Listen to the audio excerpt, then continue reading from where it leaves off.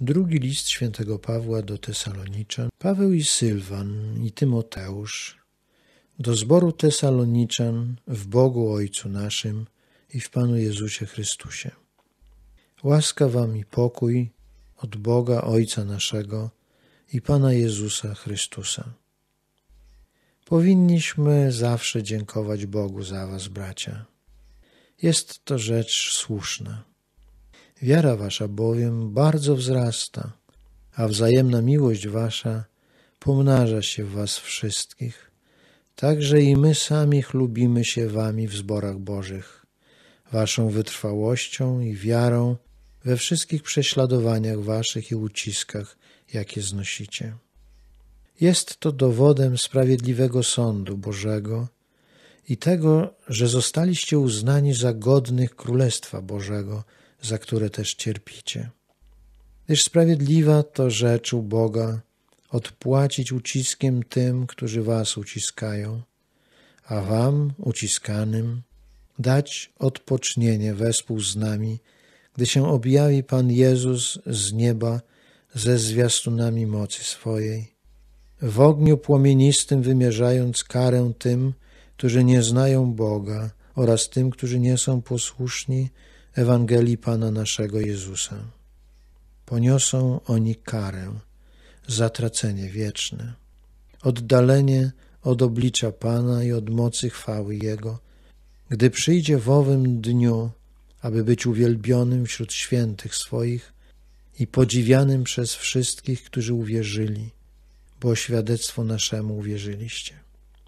W tej myśli też modlimy się zawsze za Was, aby Bóg nasz uznał Was za godnych powołania i w mocy doprowadził do końca wszystkie Wasze dobre zamierzenia i dzieła wiary, aby imię Pana naszego Jezusa Chrystusa było uwielbione w Was, a Wy w Nim, według łaski Boga naszego i Pana Jezusa Chrystusa.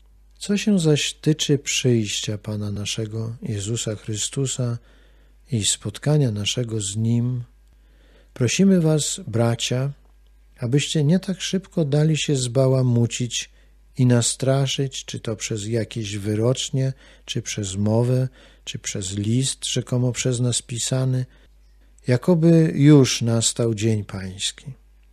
Niechaj was nikt w żaden sposób nie zwodzi, bo nie nastanie pierwej, zanim nie przyjdzie odstępstwo i nie objawi się człowiek niegodziwości, syn zatracenia, przeciwnik, który wynosi się ponad wszystko, co się zwie Bogiem lub jest przedmiotem boskiej czci, a nawet zasiądzie w świątyni Bożej, podając się za Boga.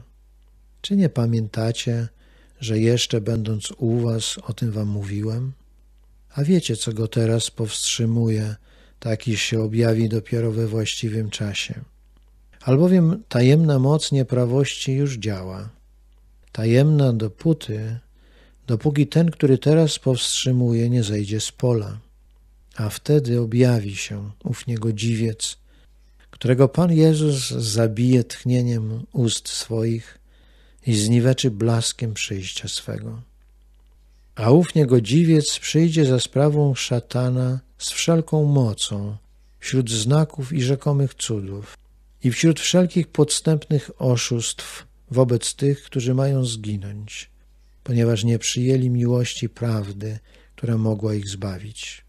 I dlatego zsyła Bóg na nich ostry obłęd, takiż wierzą kłamstwu, aby zostali osądzeni wszyscy, którzy nie uwierzyli prawdzie, lecz znaleźli upodobanie w nieprawości. My jednak powinniśmy dziękować Bogu zawsze za Was, bracia, umiłowani przez Pana, że Bóg wybrał Was od początku ku zbawieniu przez Ducha, który uświęca i przez wiarę w prawdę. Do tego też powołał Was przez Ewangelię, którą głosimy, abyście dostąpili chwały Pana naszego Jezusa Chrystusa. Przeto, bracia, trwajcie niewzruszenie i trzymajcie się przekazanej nauki, której nauczyliście się czy to przez mowę, czy przez list nasz. A sam Pan nasz, Jezus Chrystus, I Bóg, Ojciec nasz, który nas umiłował i dał pocieszenie wieczne i dobrą nadzieję z łaski, niech pocieszy serca wasze i utwierdzi was we wszelkim dobrym uczynku i w dobrym słowie. Na ostatek, bracia, módlcie się za nas, aby słowo Pańskie krzewiło się i rozsławiało wszędzie, podobnie jak u was.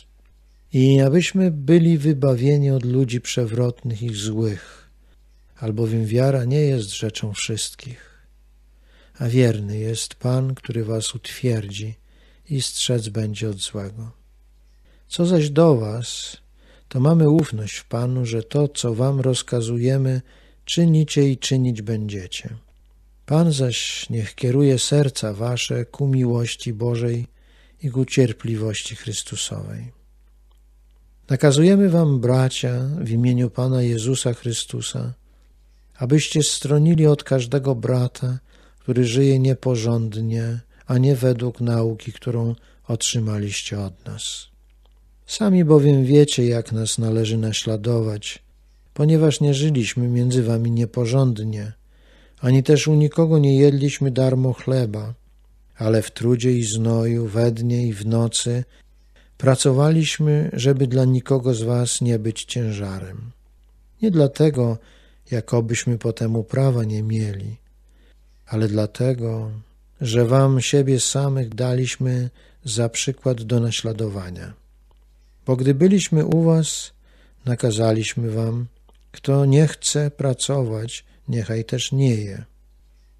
Albowiem dochodzą nas słuchy, że niektórzy pomiędzy wami postępują nieporządnie, nic nie robią, a zajmują się tylko niepotrzebnymi rzeczami.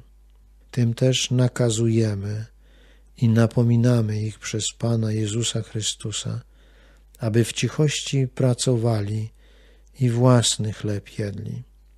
A wy, bracia, nie ustawajcie czynić dobrze. A jeśli ktoś jest nieposłuszny słowu naszemu, w tym liście wypowiedzianemu, baczcie na niego i nie przestawajcie z nim, aby się zawstydził. Nie uważajcie go jednak za nieprzyjaciela, lecz napominajcie jako brata. A sam Pan pokoju, niech wam da pokój zawsze i wszędzie. Pan niechaj będzie z wami wszystkimi. Pozdrowienie moją Pawła ręką, co jest znakiem w każdym liście, tak pisze.